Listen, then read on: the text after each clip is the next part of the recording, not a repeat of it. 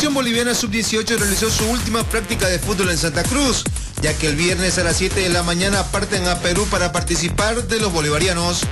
Por lo que se viene, ¿no? Todos estamos con ganas y con, con la garra de ir allá y, y, hacer un buen papel. El técnico Marco Antonio Echeverri se quejó de la falta de tiempo y apoyo para trabajar con esta selección. Las ganas porque ellos saben que están solos. Ellos saben que estuvieron solos, lo único que los apoyamos fuimos nosotros. Algunas personas también muy pocas personas.